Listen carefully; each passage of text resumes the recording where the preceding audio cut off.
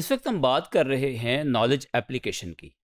और नॉलेज को अप्लाई करते हुए हमने जिस शोबे में, जिस प्रॉब्लम में, जिस टास्क में उसे अप्लाई करना है, उसके अपने मेथड्स और अपने वेज हैं। उसमें एक बड़ा इम्पोर्टेंट मेथड जो है वो टास्क एनालिसिस का है। और जब हम टास्क एनालिसिस करते हैं तो उसकी मॉडलिंग भी करते हैं, उसको एक ख़ास शक्ल में लिखते भी हैं। तो टास्क एनालिसिस का कॉन्सेप्ट क्या है?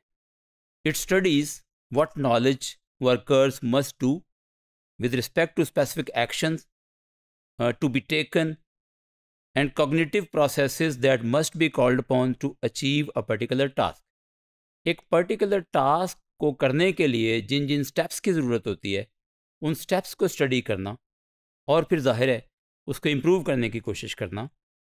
The most commonly used method is task decomposition which breaks down higher level task into their sub task and operation कि एक एक टास्क है, उसकी हम डीकम्पोजिशन करते हैं, उसके नतीजे में उसके छोटे छोटे हिस्से बन जाते हैं, और छोटे हिस्से को फिर क्या करना होता है? द लोअर लेवल्स में make use of flow diagrams वो जो लोअर लेवल है, उसको कैसे परफॉर्म करना है? उसके लिए हम मॉडलिंग करते हैं, और मॉडलिंग के लिए हम फ्लो डायग्राम इस्तेमाल कर सकते हैं डिसीज़न फ्लो चार्ट्स और screen layouts to better illustrate the step by step process तो एक बड़ा टास्क है, उसके छोटे हिस्से किए और हर छोटे हिस्से को किसी न किसी अंदाज से हम ग्राफिकली शो करते हैं। डीकम्पोजिशन का प्रोसेस क्या होता है? इसके स्टेप्स कौन से होते हैं?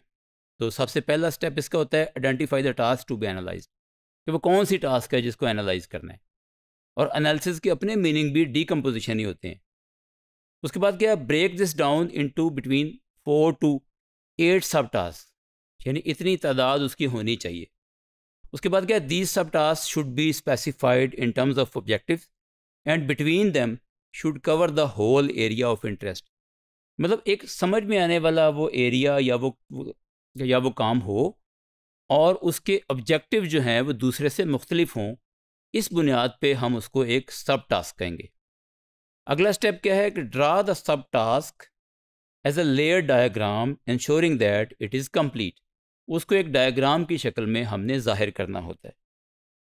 उसके बाद का स्टेप है कि decide upon the level of detail into which to decompose कि डीकम्पोजिशन किस लेवल तक करनी है। अब इसका फैसला कैसे होता है?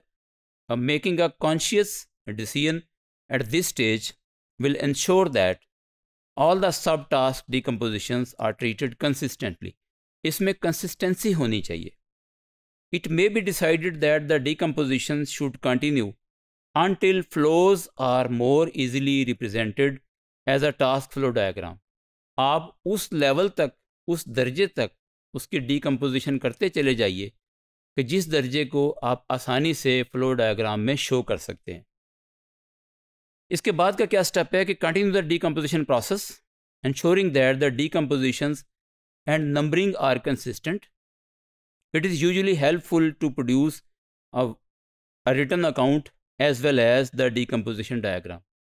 कि एक तहरीर में भी स्टेप्स सारे लिख लीजिए उसके टास्क के वो जो सब टास्क हैं और एक आप फ्लो डायग्राम भी बना लीजिए उसके बाद है कि present the analysis to someone else अब ये समवन एल्स कौन होगा who has not been involve in the decomposition process कि जो आपके साथ डीकम्पोजिशन में तो शरीक नहीं है but who knows the task well enough to check for consistency उसको उस टास्क के करने का पता हो, उसको उस काम का पता हो, कि ताकि वो अच्छी तरह से देख ले कि आपने जो डीकम्पोजिशन की है, उसमें कंसिस्टेंसी है कि नहीं, और आपने सही तरीके से उसे लिखा है या नहीं लिखा। तो इस तरीके से आप डीकम्पोजिशन का काम करते हैं।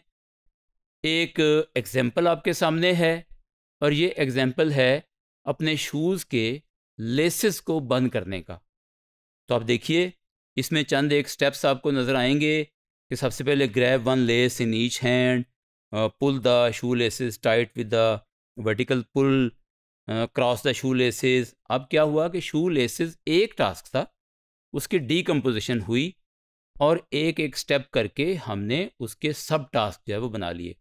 अच्छा ये जो आपके सामने इस वक्त एग्जांपल है, ये एक्सपर्ट्स के लिए है। इसमें कुछ ऐसी ऐसी चीज़ें यूज़ हुई हैं कि जो एक्सपर्ट्स को पहले से पता है। मिसाल के तौर पे इसमें लफ्ज़ इस्तेमाल होता है क्रॉस अब क्रॉस असल में कैसे करना है? अगर कोई नया शख्स है तो उसको फिर ये भी समझाना पड़ेगा कि क्रॉस के क्या मीनिंग है और क्रॉस के अंदर उसकी उसकी फर्दर सब टास्क बनानी पड़ेंगी। इसी तरह से अगर हम टाइटन कहते हैं तो टाइटन कैसे करना है? अच्छा हॉरिजेंटल पुल का मतलब समझाना पड़ेगा। तो ये जो आपके सामने चंद एक स्टेप्स हैं, अगर आप किसी नोविस के लिए या किसी नए यूज़र के लिए आप इस तरह की अगर डिकम्पोजिशन करेंगे तो उसकी शक्ल कुछ यूँ बनेगी। आप देखिए कि वही जो सात आठ स्टेप्स थे, वो चौदह स्टेप्स में बदल गए और नोविस के लिए जो है, कि ये देखें फॉर नोविस लिखा हुआ है, और उसके लिए जो है कि अब आपने पिंच करना है, अब आपने पुल करना है कि वहाँ पे थोड़े जो है वो स्टेप्स बनाए गए थे। यहाँ जो है वो सब टास्क जो हैं उनकी तादाद ज़्यादा कर दी गई है ताकि नोवस जो है उसके लिए सीखना आसान हो जाए। और ये सारा जो अमल है, इसको हम टास्क एनालिसिस कहते हैं और इसको जब हम किसी ग्राफिकल शेप में लाते हैं तो इसे हम मॉडलिंग कहेंगे।